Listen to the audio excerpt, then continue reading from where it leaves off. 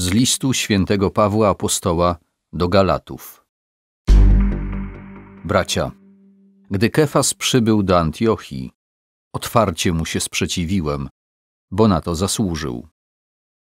Zanim jeszcze nadeszli niektórzy z otoczenia Jakuba, brał udział w posiłkach z tymi, którzy pochodzili z pogaństwa.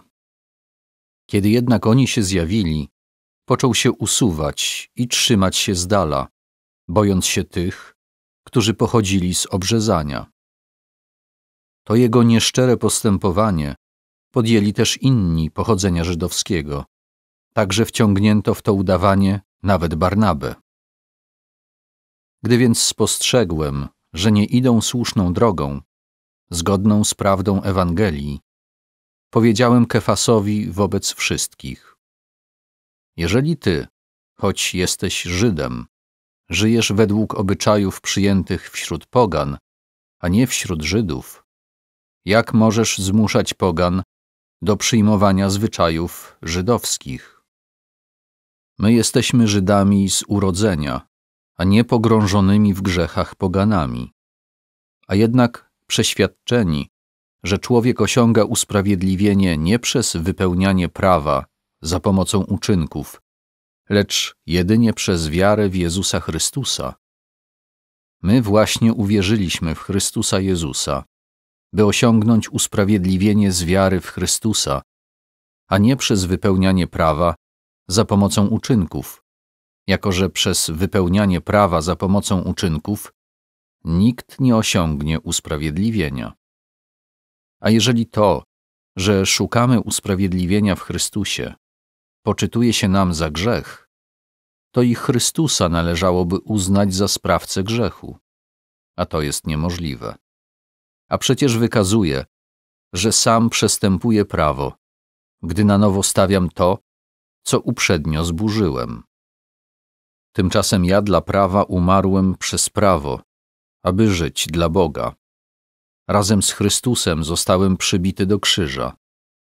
Teraz zaś już nie ja żyję, lecz żyje we mnie Chrystus. Choć nadal prowadzę życie w ciele, jednak obecne życie moje jest życiem wiary w Syna Bożego, który umiłował mnie i samego siebie wydał za mnie.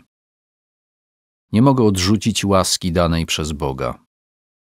Jeżeli zaś usprawiedliwienie dokonuje się przez prawo, to Chrystus umarł na darmo.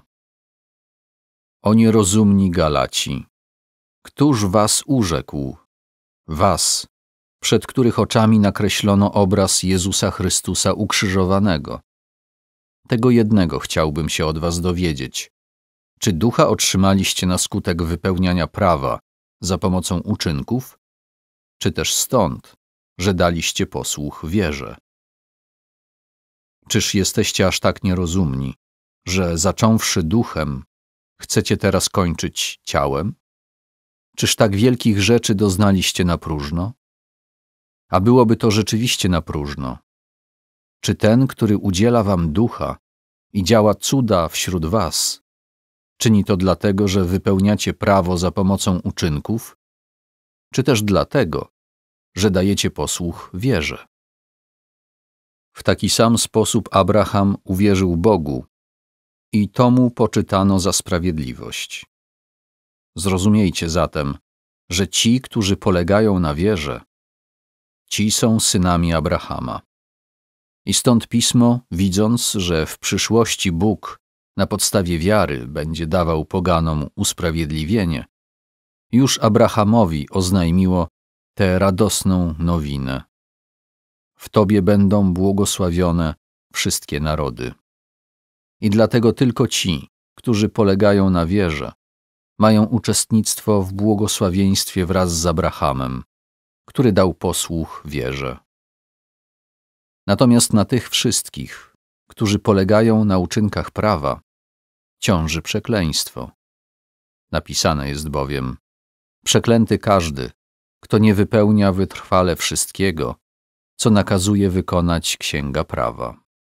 A że w prawie nikt nie osiąga usprawiedliwienia przed Bogiem, wynika stąd, że sprawiedliwy z wiary żyć będzie. Prawo nie opiera się na wierze, lecz mówi: Kto wypełnia przepisy, dzięki nim żyć będzie. Z tego przekleństwa prawa Chrystus nas wykupił, stawszy się za nas przekleństwem, bo napisane jest: Przeklęty każdy, którego powieszono na drzewie, aby błogosławieństwo Abrahama stało się w Chrystusie Jezusie udziałem pogan i abyśmy przez wiarę otrzymali obiecanego ducha.